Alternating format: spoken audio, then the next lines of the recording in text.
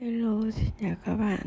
Hôm nay mình sẽ hướng dẫn các bạn tô màu bức tranh nhà bà chú lợn. Rất là dễ thương. Hãy cùng bắt tay vào tô với mình nhé.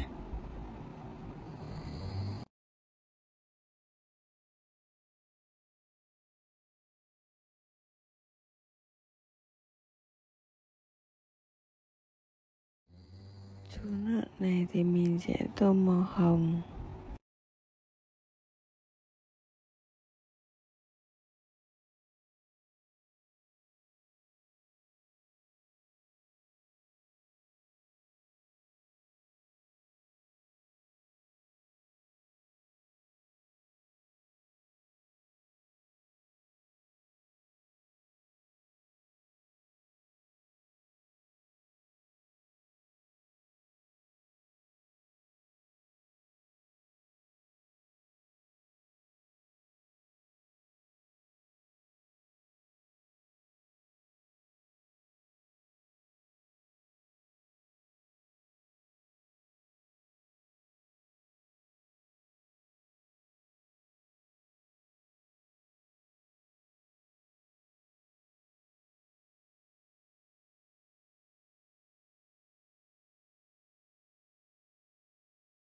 Các bạn nhớ theo dõi hết video để xem thành quả của mình nha.